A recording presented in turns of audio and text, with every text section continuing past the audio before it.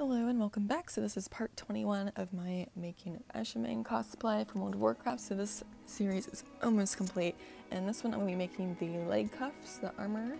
Um, I am starting out with a long rectangle of 6mm foam. Here I'm just going ahead and cutting out both of them since they're identical little leg cuff things.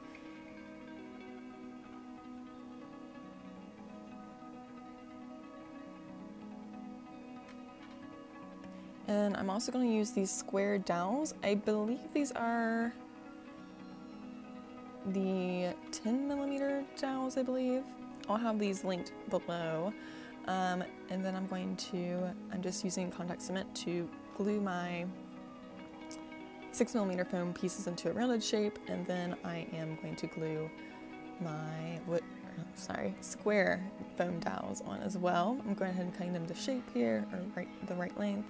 And same thing, I'm using contact cement. I use a Sharpie to trace out where it goes exactly to help me get the contact cement in the right place I don't get all over the place they don't need it.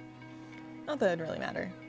And then again, just on one side of the square dowel, I paint this around. You can always just use like any EVA foam for this part, but I am doing the dowels just to save me time because then I don't have to go and make them myself. I just have these dowels here.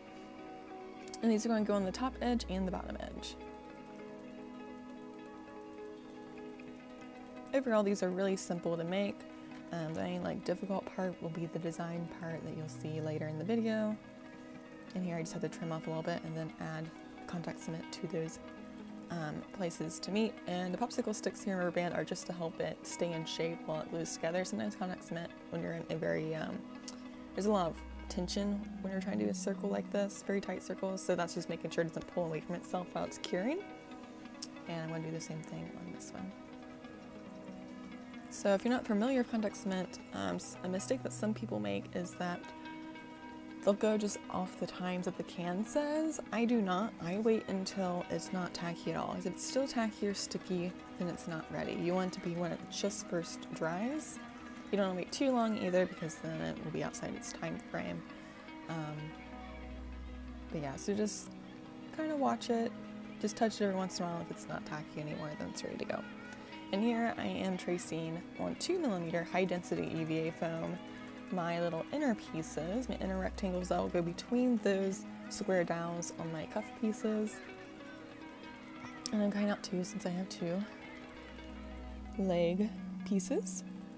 And at this point, I just traced on my design. So this character has these swirly V shapes. There's, I believe, two on each leg. I couldn't see all the way around very well since the character's a panther and how their legs are but from what I've gathered, I'm pretty sure it's two, so that's what I went with. And then I'm going to use an X-Acto knife to cut out those little V shapes and then I'll Dremel them. And we'll do some Dremeling around those outside edges too to smooth those up. And to transfer this design exactly to my other piece, I do this like stamping method where I'll take a Sharpie, color a little bit, stamp it on, color another section, stamp it on, and then I'll just go over my stamped one side to make it more uh, noticeable so it's easier to go around to cut out. And these are how they look so far.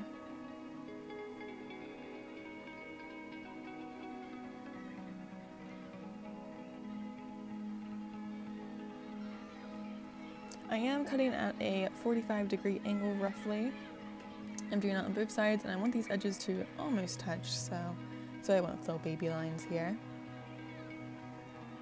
Once these are ready to paint, black paint will be going in these little swirly areas.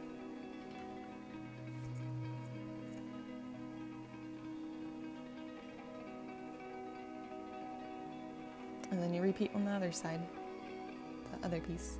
So here I have the Dremel, I'm just using a finer grit. I believe this is 120, but it might be 100 um, and I'm just going around all these edges to smooth them out, especially since my X-Acto knife blade was getting dull and I couldn't find my other ones, so it got a little rough in some places, so I'm just smoothing it out with the Dremel.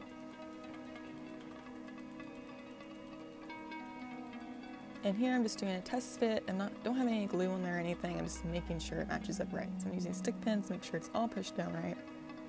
Because at first it looked like they weren't lining up, but really I just haven't pushed down in there well enough. And I just use my Dremel here to smooth out those lines where I cut out the original base shape. to make sure it's level and smooth with those square dowels I had glued on. So I want it to all blend in, like a solid piece. And before I glue on that little detail white piece, I'm going to take some quick seal and some water. And as usual, I go a little overboard on the quick seal, but that's fine. Um, just to hide any seams is the point of this stuff. I'm not too worried about the inside seams because that stuff's about to get covered up anyway with the white foam over there. And here I am getting ready to use contact cement and to glue on the uh, little detail pieces to the main piece. It's all gonna be one piece after this.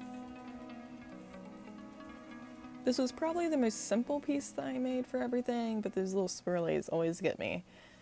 The other armor pieces have some similar details and that's always very time consuming to do that. So I'm very carefully making sure that I'm pushing this all in into the right little areas. I'm stretching it a little bit to make sure it all fits across and it's not getting any wavy spots or anything. And then I'm using a Dremel and a sanding block to help smooth out my little seam there and I'll also use quick seal to um, fill in any gaps and hide seams. I'm also going to put them in the little cutouts I did just to help smooth that out. I don't want the edges to be quite as harsh as I made them so that blends it in. Here I'm just using water to blend out and smooth out the quick seal.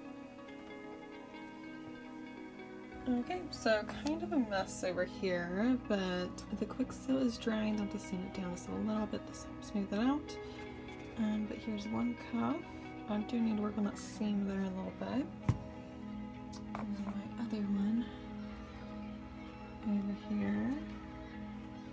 So yeah, all that's left is kind of smooth out the quick seal. And then the next steps are plasti dip and painting and sealing. And after I'm done painting everything, I'll add that Velcro onto the inside here. Um, I have a couple strips of pen inside of each. The This is the like hook side. The loop side I already have attached to my leggings, which was in an earlier video. I can't remember off the top of my head, but I'm thinking it was part 18, around there. It was labeled leggings. Um, but these will hook onto there on one side off the top and off the bottom my boot covers have in them too that will attach to the bottom half um, on the inside here. So the next video should be on painting these. If not, then it's gonna be the cape because only things I have left now are painting these guys, making the cape which will be one video, painting these will be one video, and then I'm going to be making the daggers, which will probably be a couple videos, at least two, if not more. There, there's a lot to them, so I'm not really sure how many there.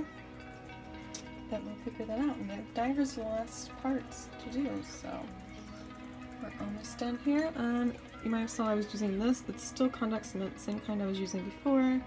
Um, my can, I was down to the very bottom and it wasn't sealing very well, so it started to get tacky, so I had to throw it away. So since I only need a little bit left, I went ahead and went with this with the brush applicator. Very tiny bottle, but be plenty for what I have left.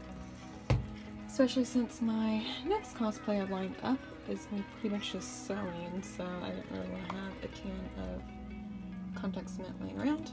Yeah, as I said, I'm going to let these dry and then sand them down a little bit and blast up them and move on to the painting, which will be in the video too. All the foam I used here was from TNT Cosplay. The black foam is the inner ring is the 6mm foam, the details is the 2mm foam, this white, and then these guys are the square dowels. Um, I'm thinking they're the 12mm because they're twice as thick there. Which was real convenient because I didn't have to cut those strips then, so... I hope this helps you out with things. If you have any questions, we're going to get things, I'm going to have links for these guys, the film, below. The quick seal I just got from Walmart, you can get from any hardware store. Um, and Weldwood, I normally get from the hardware store the big can, but I got this from Walmart. They didn't have big cans, so this works out anyway. And I think that's all I used in this video. But if you do have any questions, just ask, and I will see you next time. In the meantime, you can check out my Instagram, which will also be linked below or the other parts of this series, I have the rest of this costume build and a playlist on its own, which I'll be linking below as well.